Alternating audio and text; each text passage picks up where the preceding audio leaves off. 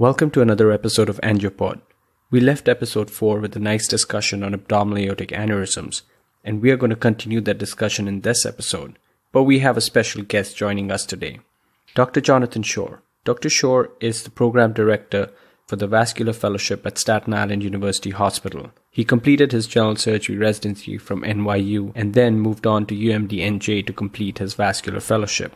He's going to discuss his approach to a ruptured AAA along with Dr. Singh. But before that, we're going to discuss some important trials on open versus endovascular repair of abdominal aortic aneurysms. Let's get started.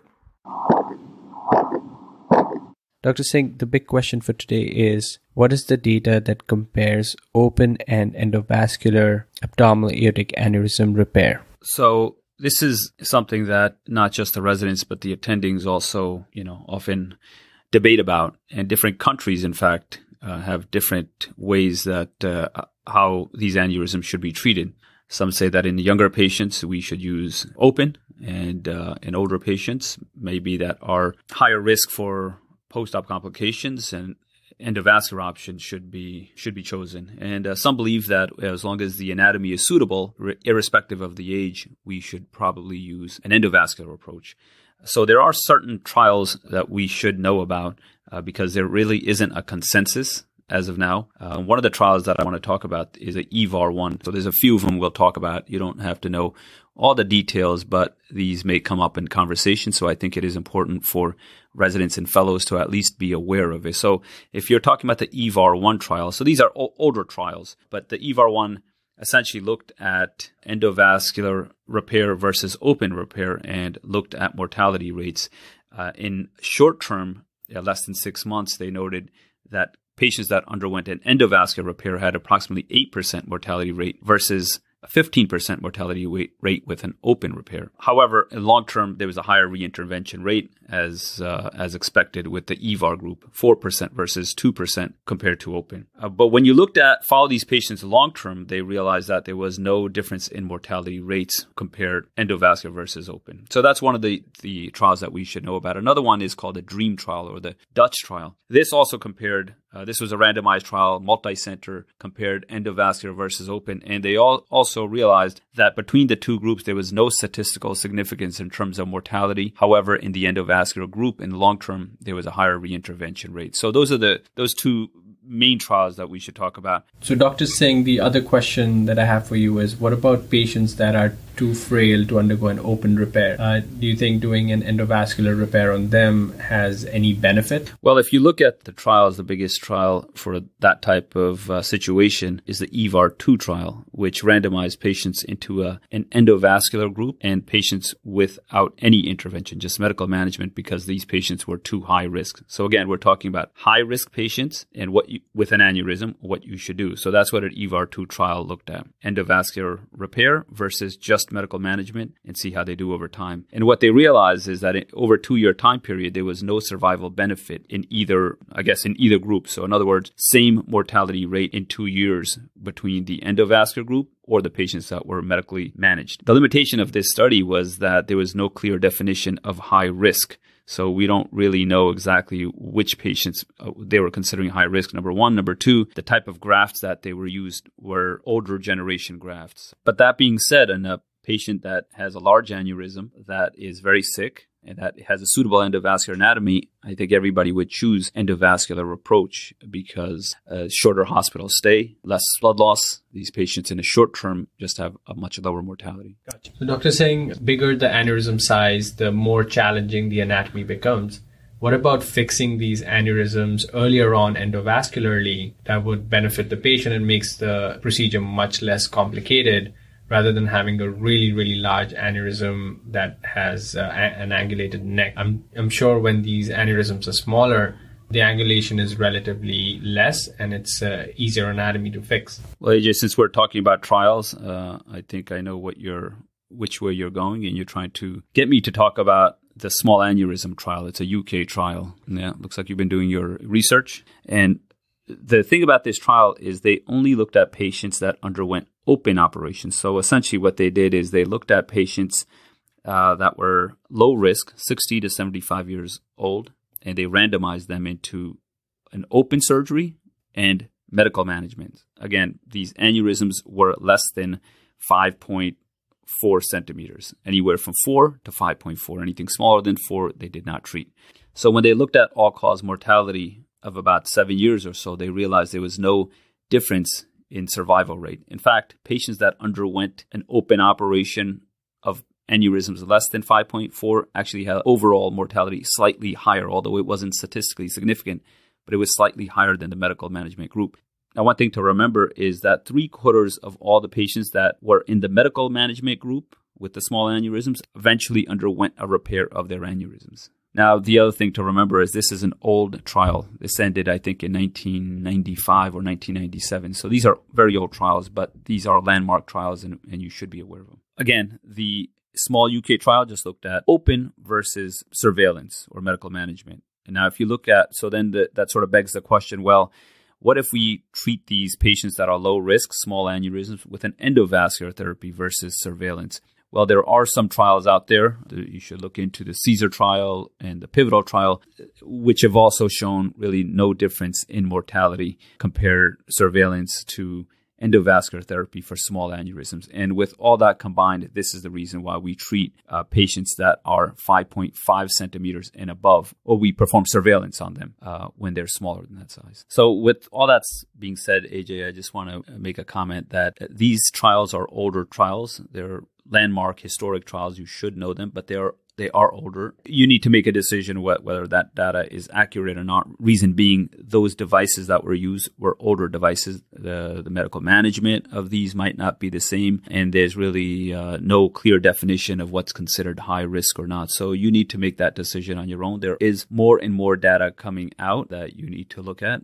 But, you know, all that being said, there is also some evidence that when the aneurysms are smaller and there is a better neck, that may be the time to treat them with an endovascular therapy uh, because over time these aneurysms do get larger and they become more difficult to treat, especially once the neck becomes smaller. And uh, now we're talking about fenestrated and snorkels and you know other uh, measures that we may have to do to treat these aneurysms. But again, it's a moving target, and there is new literature coming out all the time.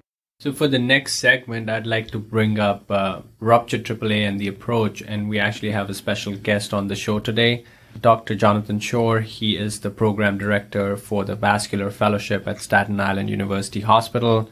He's joining us today remotely, of course, because of the corona situation. And uh, we're going to ask him what his approach is to a ruptured AAA. Dr. Schor, welcome. Thanks for joining us. And please Tell us how you would approach a ruptured AAA. So, first of all, thank you very much for having me, for inviting me to be on the podcast today. When we're talking about a ruptured AAA, there are really two different types of ruptured AAA there's the stable and the unstable patient. And the approach to each one is different.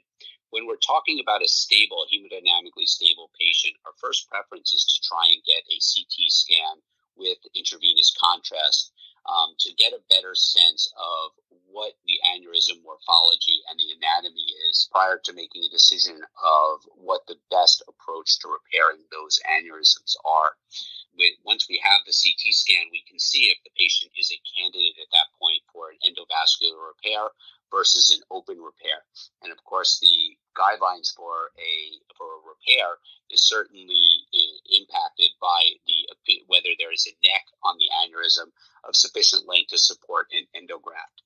In this situation, of course, I, my preference is to try uh, when the patient is stable to try and do a endovascular repair because these kind of patients have a lower short-term mortality and there's a lot less blood loss when treating these kind of patients. When we're talking about an unstable patient, of course, the rules are a little different if we have information regarding a recent CAT scan, that is great, uh, preferably within the past 30 days. However, we often don't have that information. And if the patient is okay to go to CAT scan and can be stabilized and resuscitated and go to CAT scan, that is preferable because, as I, as I said before, the endovascular repair is preferred if it can be done safely on these kind of patients. Uh, John, we should mention that we're talking about, uh, I guess, different equipment. So those that deal with a hybrid setting uh, might not know what we're talking about. Why send them to a CAT scan? Why not just bring them right up? They may have that fusion technology where they can scan them on the table and fix them on the table. But I think majority of the places uh, deal with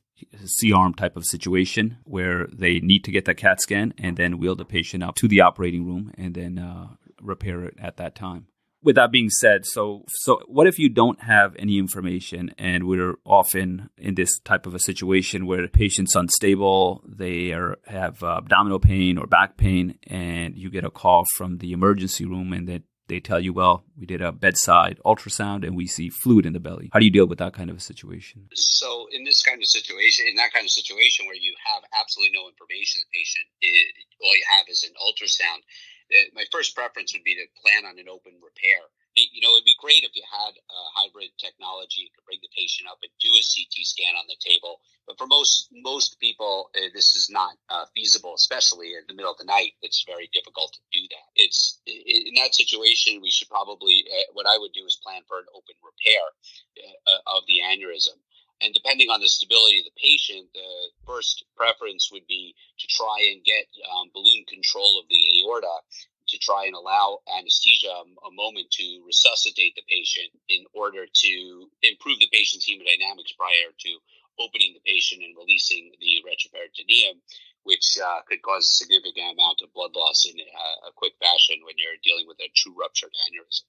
Uh, so I'm glad you brought that up, balloon occlusion. How do you do that? And I'm sure there's some general surgery residents that want to hear about this too, because this also applies to uh, trauma situation. How do you get that blue? Uh, what what type of sheath do you need? And uh, are there any tricks that you like to use to to do that?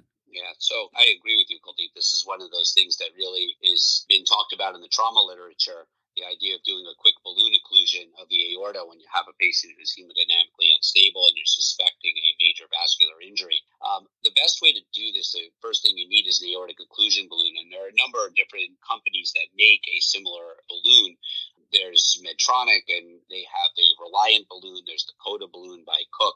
It really doesn't matter. What you need is a non-compliant aortic occlusion balloon that's often the same kind of balloon that's used to angioplasty on a endovascular aneurysm repair. Those balloons generally go through either somewhere between a 11 and a 14 French sheath, depending on the size. In an emergent situation, the truth is just put the biggest sheath you can put in. Uh, usually a 14 French sheath is sufficient, either a 12 or a 14. Either one is sufficient. It can be done either percutaneous or via a cut down. My general preference is if the patient is reasonably stable to try and do it percutaneously.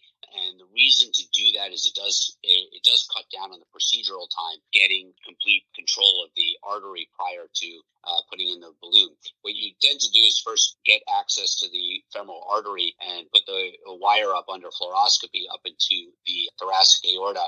You can then deliver your sheath in. Usually, it would prefer to take a long sheath, the same type that is used. I think it's a 20 centimeter sheath that is used for a endovascular aneurysm repair bring that sheath all the way up into the proximal, into the distal thoracic aorta.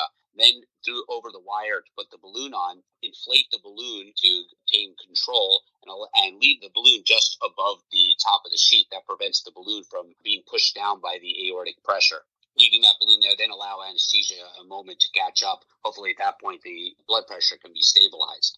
So at that point, then you can decide how you're going to repair the aneurysm. Keeping that balloon up there allows sort of get some control over the bleeding while the anesthesiologist has a moment to uh, resuscitate the patient adequately. Yeah, that's a great explanation and, and, and, a great point about using a long sheath that comes up. And the reason I'm assuming you're talking about a long sheath is by putting in a short sheath, the pulsations, the aortic pulsations can actually push the balloon down, and all of a sudden the patient becomes hypotensive and you can't figure out why.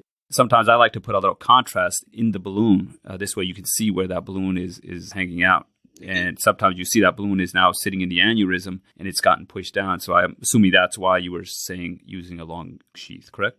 Yes, that's correct. The other trick I have is, is to make sure to put a three-way stopcock on the back end of the inflation port um, and to lock that stopcock and make sure that everyone on the table knows what position that is to keep the balloon inflated. Otherwise, the balloon will deflate from its own pressure will allow it to deflate. By locking it off and making sure everyone on the table, you can prevent an error from happening during the case uh, while you're operating to end up with a, lot of bleeding and instability of a patient. That's a very good, uh, very good trick.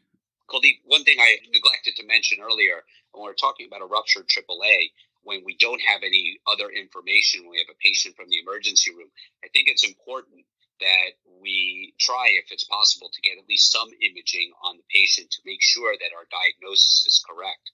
Uh, very often, a quick abdominal ultrasound done by an experienced or even a moderately experienced technician is very helpful to at least confirm that the free fluid that you see in the abdomen is surrounding the aorta. One thing about uh, ruptured aneurysms is ultrasound can give you a lot of information and it's really easy to see on most patients the aorta with free fluid around it, which certainly points to that being the correct diagnosis and certainly makes you concerned they have to take the patient emergently to the operating room. Yeah, very good point. It's also worth to look at old scans. Sometimes these uh, can be missed, but you find it on an old CAT scan or an old study that was theirs. You know, but your points are excellent. Uh, one thing John, we should talk about our trials, right? That this sort of begs the question well, what's better, an open operation or an endovascular? But I guess before we talk about trials, why don't we talk about an open approach? My preference is on a rupture is obviously, as we talked about earlier, trying to get balloon control if it's possible when the patient is very unstable. When you have to do an open repair, I think the first uh, order of business is to determine how you're going to get proximal control of the neck of the aorta or even any proximal control of the aorta to stop the bleeding that's going to cause the patient to be unstable and the real initial problem have to deal with. Usually my approach is a midline laparotomy and be generous with the incision. Um, all the way up from the xiphoid process down to the uh, symphysis and, and to enter the abdomen. And first order is to try and get proximal control. And the way to do that is to define the aorta at the crus of the diaphragm in this to get to what we Uh, often refer to as supraceliac control. And the way to do that is to enter through the lesser sac and to mobilize the left portion of the liver and find the aorta right at the crus of the diaphragm. Once you can get to that point, you could even use just a sponge stick or someone's hand to just grab down and feel the aorta. One of the key things is be careful when you're trying to get control of the aorta over there because the esophagus runs right in that same location. So you need to use some finger dissection to make sure the esophagus is freed away from the aorta.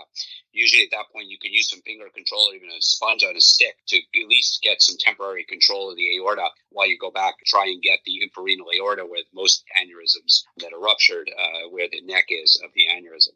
Yeah, these can be very challenging, especially if it's free rupture but you know a lot of times uh, these are contained ruptures so you can't take your time. Uh, you just need to be careful and you need to be very diligent because once you open up that sac you can turn that uh, contained rupture into a free rupture. Now you have yourself a problem. Uh, one thing to mention is don't forget about either femoral or iliac control. So uh, you don't want to open up the sac thinking that you have good proximal control and then you forgot about uh, iliac control and then you have torrential back bleeding one other thing to remember is if you can see the size of the IMA, if it's a if it's a significant size IMA and you can control the proximal neck and you have iliac control as well, and you open up the sac and you still have significant bleeding, you know this can come from lumbars, but it can also come from the IMA as well if it's a uh, generous size IMA.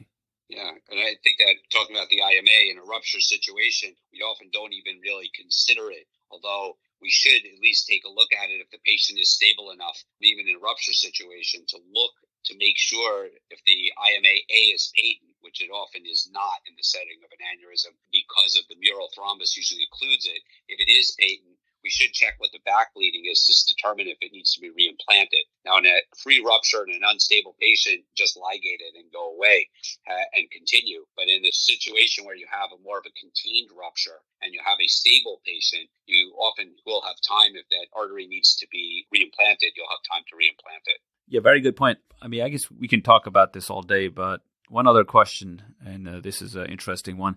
What if you have a patient and the belly is significantly distended. I mean, it's like rock hard. But you got a CAT scan, and the CAT scan shows good endovascular anatomy, and you choose to fix this in an endovascular fashion. What do you do in that situation? And, you know, I guess you know what I'm talking about, which would be compartment syndrome. How do you deal with that situation? So in that situation, what I would do is just repair the aneurysm by using an endovascular graft. Once you complete the endovascular graft, that will actually get control of the bleeding for you. So you're not dealing with an expanding hematoma. And very often when that happens, a patient needs to have a decompressive laparotomy. And do that, you have just do another midline incision. You leave the abdomen open and allow the bowel to open up beyond the abdominal cavity to release the compartment syndrome. At some point, a couple of days later, usually you can bring the patient back once the edema and some of the hematoma has resolved and close the abdomen. Yeah, uh, great points. Dr. Singh, you mentioned the trials comparing open versus endovascular repair for specifically for ruptured AAAs. Let's go back to that and talk about any trials that discuss that topic. One major, I guess, since we're talking about landmark trials, uh, is a, the improved trial. So this was, I think it was published in 2013. Uh, but this improved trial was a randomized controlled trial, and it looked uh, roughly at 300 patients that underwent open and endovascular repair for a ruptured aneurysm. And essentially, what they found is 30 day mortality really, sh- there was no statistical significance whether you treated them in an endovascular or an open fashion. However, when they looked at subgroup analysis, they did show some benefit in the EVAR group in the 30 day mortality of females with a 37% versus 57% mortality rate. Also, just like uh, some of the other trials that we talked about, open versus endo, endovascular repair always always going to have a higher reintervention rate in the longer term. So one other subtype of aneurysms that are rare, but most of the younger trainees, especially the junior general surgery residents, uh, as well as the medical students, get confused about is inflammatory or the other type, the infected aneurysms that we sometimes have to deal with. Uh, what are your thoughts on these two subtypes? So these two aneurysms are different. They're of different etiology, and I think it's important to note that. An infecting aneurysm is secondary to an, an infection, and that could be sometimes that's from a prior history of some sort of an aneurysm repair that gets infected, or it's an infected aorta secondary usually to a remote infection. It can be from endocarditis or an infected valve, which can then see the aorta and end up with an infected aneurysm. These can either present as ruptured aneurysms or even um, just as patients with fever and an expanding aneurysm. Those cases uh, that are infected need to be treated differently than any other kind of aneurysm because you can't uh, repair that aneurysm with a graft material in the abdomen. You really want to avoid that situation if you can. The most common way to repair this is to first do an axillary to bifemoral artery bypass and then laparotomy and excise the infected portion of the aorta and oversew the aortic stump and to remove all infected material to debride any infected material, wash it out, and then keep the patient on antibiotics. And that's the usual first treatment. Of course, that's not the only treatment. There are a couple of other options including using a rifampin soaked graft, which has been described, or using a homograft. There's another procedure called the NAIS procedure, which is a procedure where a piece of the femoral vein is fashioned into a neo aorta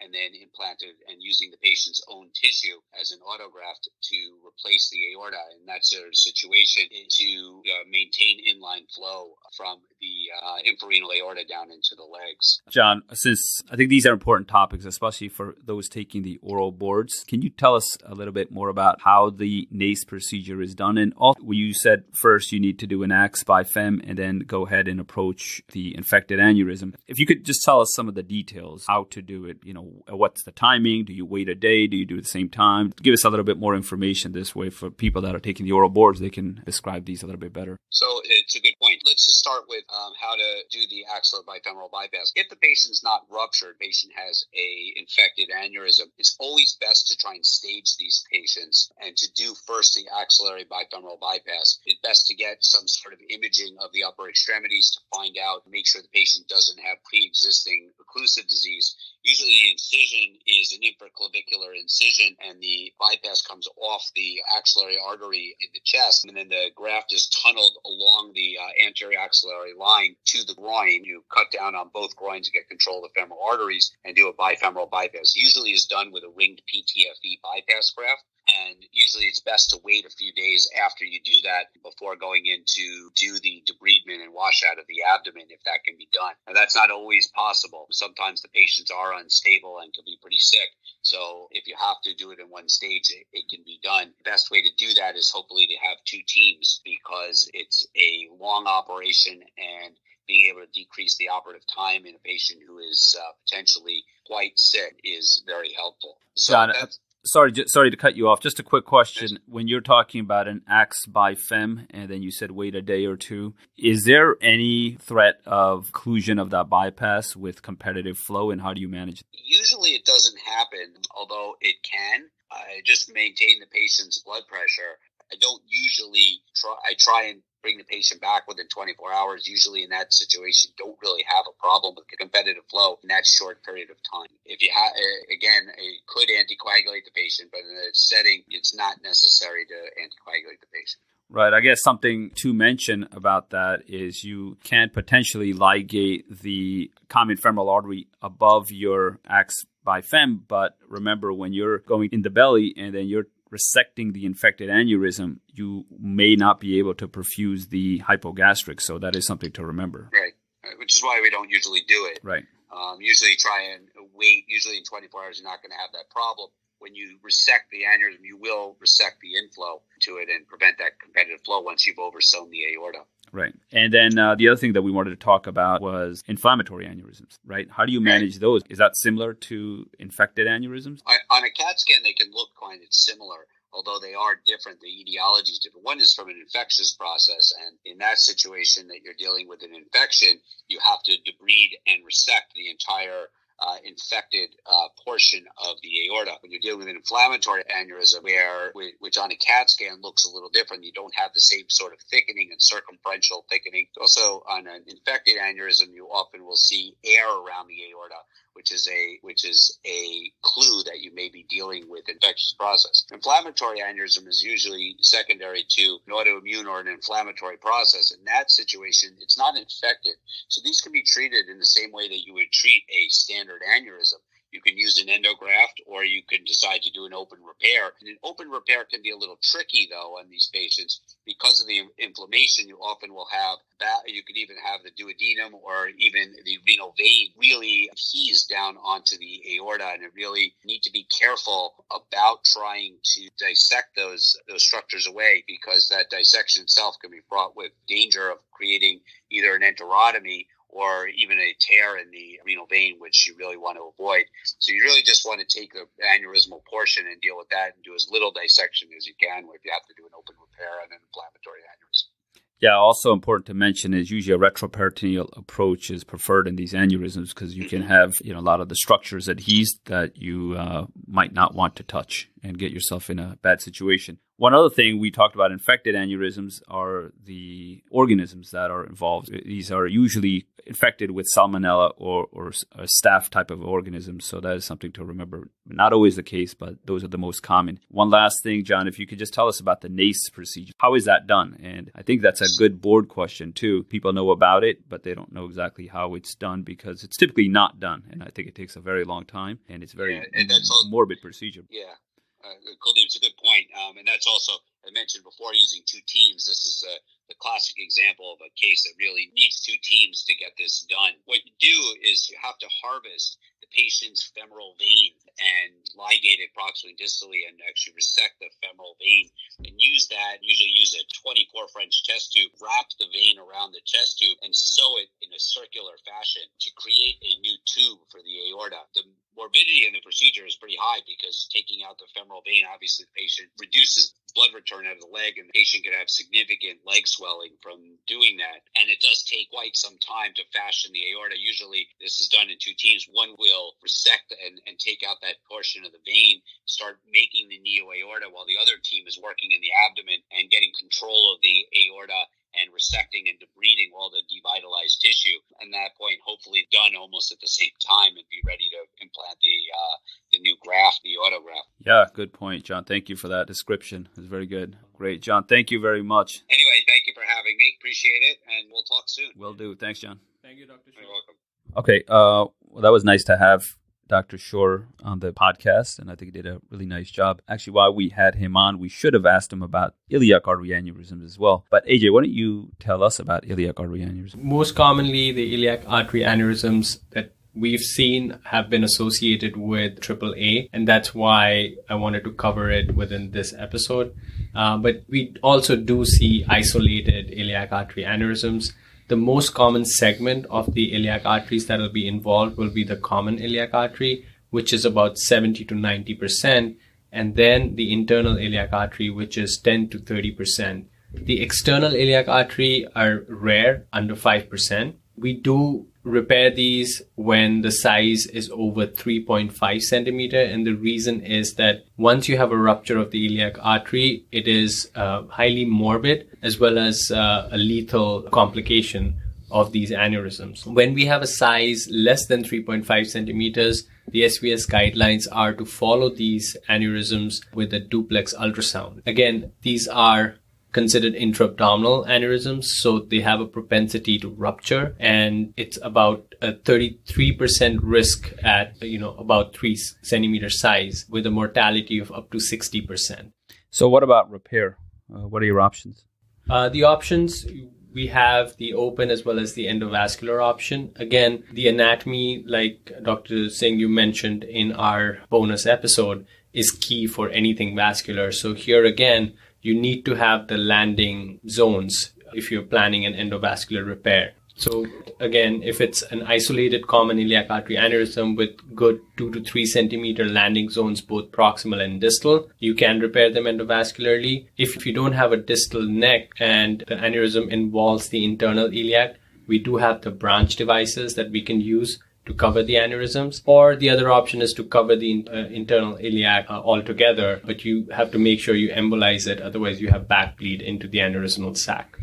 Yeah, very good point. Also, don't forget if you have an aneurysm of the common iliac artery and it's adjacent to the aorta, how would you fix that? Well, you would have to fix the aorta if it's aneurysmal yeah, that's right. So if there's no landing room, uh, then you essentially have to treat that aorta as if it's aneurysmal. If it's a completely normal aorta, you can get away with a few things. One is using a, a bifurcated uh, graft, like such as an Endologix, where you don't need to necessarily treat it all the way up to the neck. Other options are just treat it like a normal aortic aneurysm, or if the patient is healthy enough and they're skinny enough, and uh, you can get to that artery in an open fashion, you can do it, treat it in open fashion in retroperitoneal incision, and that works out pretty well.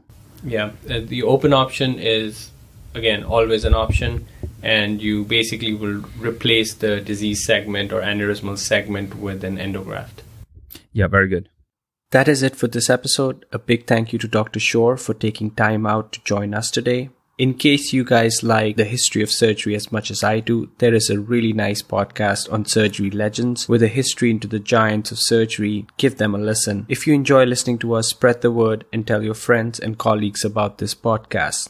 Also, all of you dealing with COVID 19 patients, take care and stay safe.